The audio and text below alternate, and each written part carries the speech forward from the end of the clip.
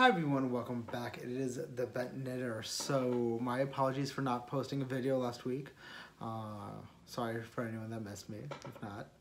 I'm here, I'm back. Um, I got pretty busy with moving and visiting people and running around, getting crazy. I literally just moved in a couple days ago, so I am still unpacking.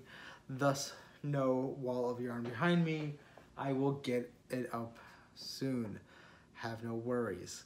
Um, but in the meantime, just want to give you a quick update.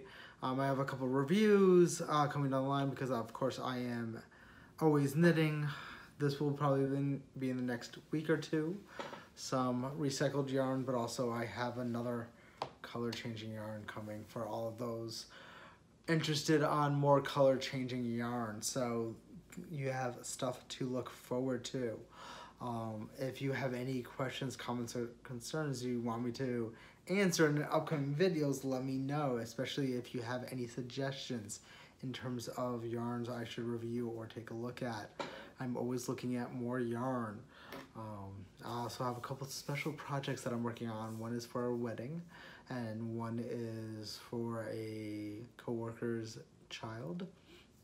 Um, it's gonna have a little airplane on it, so it's gonna be pretty cool. So I'll probably show you more about that and how I managed to do all that work. So thank you for keep, being patient and keeping up with me. I will see you next week uh, with a review of some of yarn. Anyway, see you next time.